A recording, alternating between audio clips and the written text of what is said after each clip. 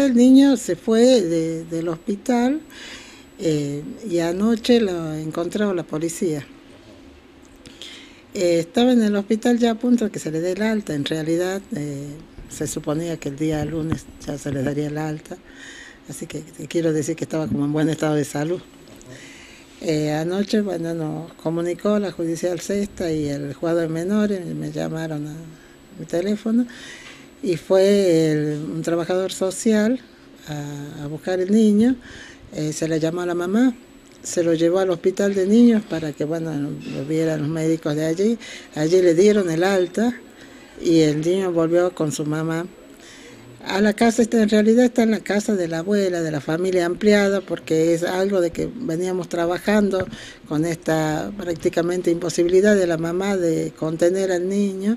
Se buscó el apoyo de, la familia ampliada, sobre todo de un tío, de, de la abuela, para que, bueno, pudiera, porque el niño lo toma como referente más bien a ese tío.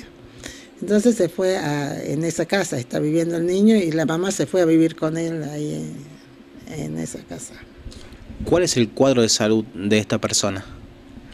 En realidad, bueno, el chico tiene consumo de, tiene algunas adicciones o, un consumo excesivo, mejor dicho, de alguna sustancia, como es el pegamento, eh, los psicofármacos, que desgraciadamente es moneda corriente, acá se consiguen tan fácilmente, y eh, según él, dice que de vez en cuando a marihuana. Eh, por lo tanto, se habló con el Centro Integral de Salud, que es el Exumaraya, para poder que el chico entre a un tratamiento eh, por adicciones, aun cuando no se pueda determinar si realmente es una adicción o consumo excesivo, pero que bueno, entre en este, en este círculo de tratamiento.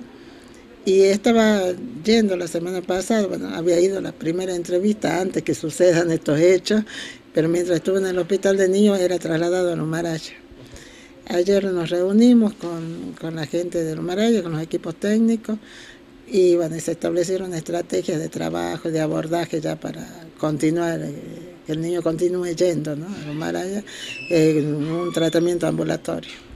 ¿Cuál es la relación de este niño con su madre? Usted recién nos decía que está eh, complicada porque tienen varias familias numerosas, el tema del trabajo. No, en realidad hay un problema vincular de este nene con la mamá. El niño dice que prefiere estar en la calle. Eh, la situación familiar sí es un poco complicada. Eh, la mamá tiene, bueno, otros hijos, tiene un bebé que queremos que también eso profundiza más este problema de vínculo, el hecho de que aparezca un bebé en, la familia. Em, pero bueno, la mamá se ocupa del niño, es como que no puede y el niño no puede hacer tampoco buen vínculo, ni con ella ni con nadie en realidad. Lo que esto lo que dificulta y también nos preocupaba ayer cuando hablábamos de estrategias de tratamiento, el hecho de que el chico cuando siente que hay una corriente de afecto con alguien, ante el temor de perderlo, se aleja él. ¿A partir de cuándo o cómo iniciaría este proceso de rehabilitación en el Humaraya?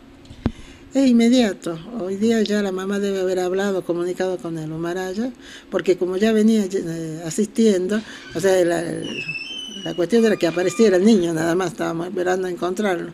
Así que es muy probable que mañana, si no es hoy, mañana mismo esté, porque la, atención es diurna ya a la mañana, ¿no?